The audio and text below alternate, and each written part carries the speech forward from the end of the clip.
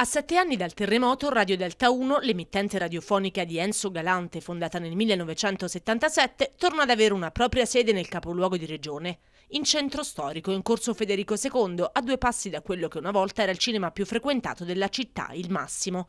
All'inaugurazione della radio, oltre a Galante e alla sua squadra di tecnici, speaker e giornalisti, hanno partecipato anche il vicepresidente del CSM Giovanni Legnini, la senatrice Stefania Pezzopane e il sindaco dell'Aquila Massimo Cialente. Mm, l'abbiamo fortemente voluto nel fine 2008 mm, quando abbiamo preso eh, questa, questa, sede. Ancora in precedenza ho avuto un rapporto con l'Aquila molto forte perché abbiamo mh, mm, fatto, entrato, eh, è entrata a far parte del nostro gruppo una radio molto cara agli aquilani, abbiamo preso Radio Capital che poi è diventata Radio Play Capital, quindi c'è un, eh, un forte legame con il territorio.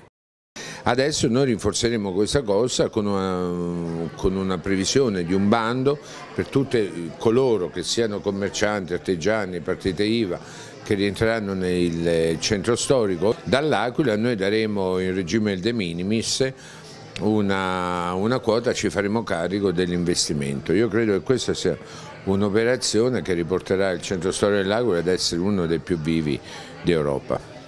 Radio Delta, con i suoi 400.000 ascoltatori medi a settimana, è la radio più seguita in Abruzzo. Nata quasi 40 anni fa da Tessa, dove era la sua base operativa principale, pian piano si è allargata, aprendo anche le sedi di Pescara e dell'Aquila. All'Aquila si tratta di un ritorno, accolto con entusiasmo anche dalla popolazione.